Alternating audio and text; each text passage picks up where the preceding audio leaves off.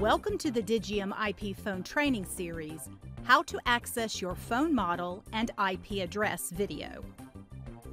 In order to troubleshoot phone issues or to provide information about your phone, you might be asked to provide your phone's model number, IP or MAC address, or other information.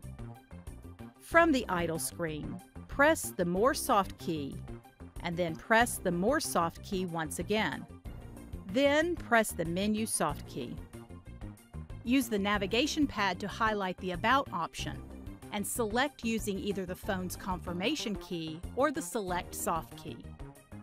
The phone model is displayed on this screen, as well as several pieces of information that might be useful in troubleshooting, including the firmware version, which is the software that supports the voice over IP functioning on your phone, MAC address, which is the unique identifier associated with your phone on your network, and IP address, which is the unique string of numbers that allows your phone to communicate on your network.